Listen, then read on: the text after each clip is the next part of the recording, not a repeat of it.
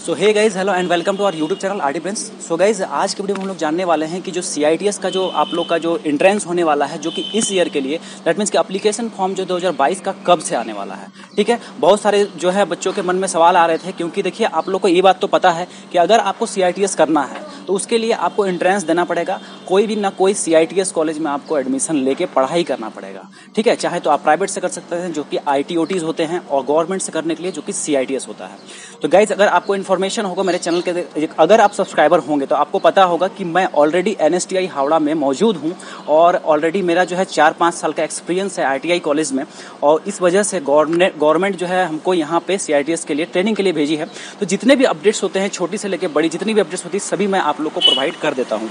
तो गाइज़ यहाँ पे जैसा कि आप लोग को पता होगा कि यहाँ पे जो सी के जो फॉर्म्स जो आने वाले हैं, ठीक है? तो सबसे पहले ये हम लोग जान लें कि सी कोर्स किन के लिए है और जो है क्यों करना चाहिए सी तो गाइज़ अगर आप लोग मतलब आईटीआई की फ़ील्ड में है तो आप लोग देखे होंगे कि यूपी में जिधर रिसेंटली जो वैकेंसी आई है, जो कि 2400 पोस्ट समथिंग के लिए जो आई हुई थी, उसमें क्या था कि C is compulsory that means अगर सी अगर आपने करा रखा है तो ही आप फॉर्म को अप्लाई कर सकते हैं, अन्यथा आप अप्लाई नहीं कर सकते। हैं। ठीक है तो ये समस्या है। इसके लिए अभी क्या हुआ कि सी का और भी ज़्यादा क्रेज बढ़ गया है। तो सी एक्चुअली होता क्या है? देखिए, जैसे कि आप लोग को पता होगा प्राइमरी स्कूल हो गया या सेकेंडरी स्कूल हो गया, उसके, उसमें आपको पढ़ाने के लिए बीएड कंपलसरी होता है या डीएलएड कंपलसरी होता है, जो कि टीचर ट्रेनिंग होता है। उसी तरह से आईटीआई के कॉलेज में पढ़ाने के लिए आपको जो है ये एंट्रेंस वगैरह जो है देना पड़ता है। दैट मीन्स की सीआईटीएस आपको करना होता है। ठीक है? तो ये हो गया सीआईटीएस तो सीआईटीएस का जो है जो है फॉर्म्स वगैरह कब आएगा, ठीक है? तो देखिए इंट्रेंस एग्जामिनेशन भी इसका होता है बट बेसिकली पहले फॉर्म निकलता है, उसके बाद फिर इंट्रेंस होता है। तो फॉर्म जो निकलता है, देखिए, इस बार का मैं आपको बता रहा हूँ, जो 2021 22 सेशन जो था, जो कि हम लोग का सेशन है, इसमें क्या हुआ है कि बहुत ज़्यादा सेशन डिले हुआ, बहुत ज़्यादा लेट हुआ, क्योंकि उसके पहले वाले सेशन भी लेट थे, जो कि कोरोना के कारण, ठीक है? तो जो, चीज़ें जो है, बहुत दिसंबर तक चली गई थी, ठीक है? और इंट्रेंस भी जो है लेट से हुआ था एग्जामिनेशन फॉर्म हालाँकि जो है जुलाई अगस्त तक फॉर्म आए थे। बट इस बार जो जो सीन है क्योंकि जो इक्कीस बाईस सेशन है उनका जो है जो आई I मीन mean, जो एग्ज़ाम है जो कि फाइनल है वो आपका जुलाई एंड ऑफ़ तक में खत्म हो जाना है। ठीक है ऐसा डीजीटी का गाइडलाइंस है। अभी देख लीजिए यहाँ पे अभी जो जो आप लोग के सेशन के जो फॉर्म आने वाले हैं वो मई के लास्ट लास्ट वीक में या फिर मई से जून के बीच में मतलब जून के मान लेते हैं दस तारीख तक पंद्रह तारीख तक आप लोग को देखने को मिल सकता है। ठीक है मई लास्ट ऑफ़ वीक मई और फिर जून के फ़र्स्ट वीक तक आप लोग को देखने को मिल जाएगा। ये रही बात फॉर्म्स की। अब आप लोग का जो एग्जामिनेशन होता है ठीक है, वो एग्जामिनेशन किस तरह का होता है? देखिए, सौ क्वेश्चन रहते हैं, सौ नंबर के होते हैं, ठीक है, जहाँ की आपको सेवेंटी फाइव क्वेश्चन जो होते हैं, वो आपके पर्टिकुलरली ट्रेड से होते हैं, जैसे इलेक्ट्रिशियन ट्रेड है तो इलेक्ट्रिशियन ट्रेड से पच्चीस क्वेश्चन रहेंगे फिटर है तो फिटर से पच्चीस क्वेश्चन रहेंगे। कुछ मॉडल पेपर्स कुछ वीडियोज़ चैनल पर मिलेंगे और आने वाले टाइम में आप लोग को अपडेट्स और मिलता जाएगा, कहाँ से पढ़ें, क्या पढ़ें, ठीक है, उसके लिए आप निश्चिंत रहिए। चैनल को सब्सक्राइब कर लीजिएगा ताकि आपको सारी अपडेट्स मिलती रहे। रही बात, पच्चीस क्वेश्चन और जो होता है, आपका मैथ और रीजनिंग से रहता है, ठीक है।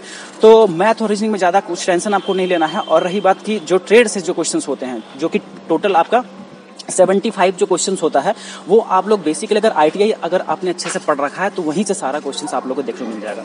बात कर लेती कट ऑफ़ का तो देखिएगा इस कट ऑफ़ के लिए मैं आप लोग को बता देता हूँ, इस बार का जो सीन था, क्योंकि 18-20 सेशन जो था आईटीआई का, वो भी इस बार जो है सीआईटीएस का जो है अपियरिंग कैंडिडेट्स के रूप में नहीं भर पाए थे, क्योंकि उनको रिजेक्ट कर दिया गया था। नीमी ने क्या किया था, उन सभी को जो है रिजेक्ट कर दिया था, ठीक है? रही बात कि अगर मैं बताऊँ आप लोग को उन्नीस इक्कीस सेशन तो वो लोग भी एलिजिबल नहीं हो सके थे, क्योंकि उनका हाल फ़िलहाल में अभी रिसेंट डेज़ में जो है उनका रिज़ल्ट आया है। ठीक है? तो अभी दो सेशन के बच्चों को भीड़ लगने वाली है सीआईटीएस में और सीआईटीएस कंपलसरी हो गया है। इस वजह से क्या होने वाला है कि सीआईटीएस के लिए इस बार जो कट ऑफ़ अच्छा खासा जाएगा। मैं आपको मंथ ऑफ़ ये एंड ऑफ़ मार्च में आपको बता रहा हूँ ये चीज़। इसलिए बता रहा हूँ क्योंकि आप लोग पढ़ाई में लग जाइए क्योंकि इस बार कट ऑफ़ थोड़ा हाई जाने वाला है। पिछले बार जो था थर्ड स्पॉट काउंसलिंग में लगभग आप लोग का जो है चालीस नंबर तक, पैंतालीस नंबर तक एडमिशन हो गया था। ठीक है? तो ये चीज़ें हैं। बट अभी आप लोग के कट ऑफ़ जो है हाई जाएँगे और कट ऑफ़ लगभग जो है मान के चलिए कि 50 60 एटलीस्ट सेवन सिक्सटी अब आप लोग एम करके चलिए। तभी आपको एनएसटीआई जो कि आपका जो कि गवर्नमेंट जो ऑर्गेनाइजेशन है जहाँ से आप सीआईटीएस कर सकते हैं, उसमें आपका एडमिशन हो पाएगा। क्योंकि जब बच्चे जो हैं C I T S N S T I से ही करना चाहते हैं, गवर्नमेंट ऑर्गेनाइजेशन करना चाहते हैं, क्योंकि यहाँ पे क्या होता है ना कि आपको अच्छा खासा जो है ये मिल जाता है। दैट मीन्स की फ़ीस नाम मात्र के बराबर लगता है। सिर्फ़ और सिर्फ़ हॉस्टल फ़ीस एक तरह से साढ़े बारह सौ रुपये के आसपास लगता है, और कुछ बस बिल्कुल मिनिमम चार्ज लगता है। लगभग यदि मैं बताऊँ, आप लोग सिर्फ़ खाना खाना छोड़ दिया जाए तो बाकी चीज़ें आप लोगों की लगभग चार हज़ार साढ़े चार हज़ार, पाँच हज़ार तक में हो जाता है। इस वजह से लड़के प्रेफर ज़्यादा करते हैं और पढ़ाई स्तर भी अच्छा है और जो है यहाँ पे सिखाया भी बहुत अच्छा से जाता है। आई टी जो है, जो आपको प्राइवेट आईटीआई का जो हाल है, वही प्राइवेट मतलब कि C I T S that is I O T I T O Ts का हाल है। इसलिए कटअप की मैंने बात आप लोग को बता दी। सी आई टी एस जो है, किनको करना है? और क्यों करना चाहिए और कंपलसरी कितना है, वो चीज़ें मैंने आपको बता दिया है। बिना एंट्रांस के कोई उपाय नहीं है, आप एडमिशन नहीं ले सकते हैं। भले एनएसटीआई चाहे आई में फिर सीट खाली रह जाएगी, लेकिन एडमिशन नहीं होगा आप लोग का। एंट्रांस देना कंपलसरी है, आपको देना ही पड़ेगा। ठीक है? और जो है इसमें लगभग मतलब सारे टॉपिक्स मैंने कवर कवर कर दिए हैं। अगर आप लोग का कुछ डाउट्स रहता है तो आप लोग कमेंट्स में मुझसे बेझिझक पूछ सकते हैं। बट आप चैनल ज़रूर सब्सक्राइब कीजिएगा, क्योंकि यहाँ पे सारी अपडेट्स आप लोग को टाइम टाइम मिलती रहती है। और जो एंट्रेंस जो होगा आप लोग का, वो लगभग एक महीने के बाद होगा। ठीक है, जब आपके फॉर्म्स जो भरने के लिए लगभग जो है बीस दिन, पच्चीस दिन का मौका मिलता है टाइम मिलता है तो मई के लास्ट में आप लोग तैयार हो जाइए और पढ़ाई में तो भाई अभी से लग जाइए। ठीक है तो इसी उम्मीद के साथ कि आपको जानकारी जो है समझ में आया होगा, पसंद भी आया होगा। तो मिलते हैं अगली जानकारी में, तब तक के लिए आप लोग का बहुत बहुत शुक्रिया बहुत बहुत धन्यवाद।